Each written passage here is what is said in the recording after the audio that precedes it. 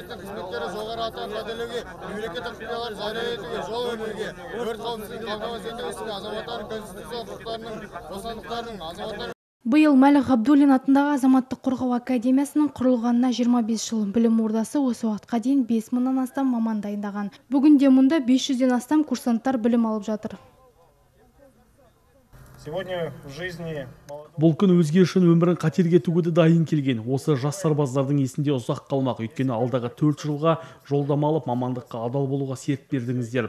Адамдарды өрттен төтенше жағдайлардан және табиғи апаттардан құтқару ісіне арнап өмірдің жаңа бетін ашып отырсыздар. Азаматтардың қауіпсіздігі мен қорғалуын қамтамасыз ету үшін үлкен жауапкершілік жүктелді. Алда сіздерді қарқынды қызықты оқу жылдары күтіп тұр.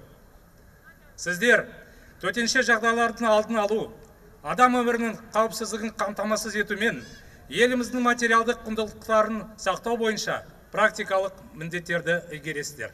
Мірдің оғындай сап түзеген бұл сарбаздардың мамандығы әлемдегі ең қауіптілердің бірі. Өз басын қатерге тігіп ең бірінші орынға ел мен жерінің амандығын қоя білген маман иелері әрдайым құрметке ие. Отанға адал қызмет ету әрбір ер азаматтың міндеті дейді жас құтқарушылар.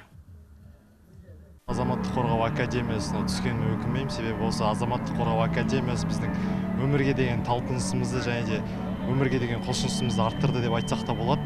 Себебі бұл азаматтық қорғау академиясы ғана емес бұл жерде өртпен бетпе бет келген кезде жасаудағы іс қимылдар барлығын адамды адамды ойлаудың адамды адамды қорғаудың барлық іс тәсілдерін үйретеді. Және де біз осы бүгінгі ант қабылдау мерекесінде өзіміз ант қабылдап өмірге деген ең ең батыл қадам бастық деп ойлаймын. Я выбрал эту учебу. бала кезімнен өрт сөндіруші болуды армандадым осы оқу орнын таңдағаныма қуаныштымын. Рәсім аяқталған соң курсанттар алаң арқылы жүріп өтті. Сондай ақ бұл күні бірқатар ардагерлер мен қызметкерлер азаматтық қорғау органдары саласындағы білім мен ғылымдағы жетістігі үшін мәлік ғабдуллин төсбелгісімен марапатталды. Сонымен қатар биыл магистратураға алғашқы қабылдау жүргізілді. Төтенше жағдайлар министрі юрий ильиннің айтуынша алдағы уақытта академияға қыздар да қабылданады.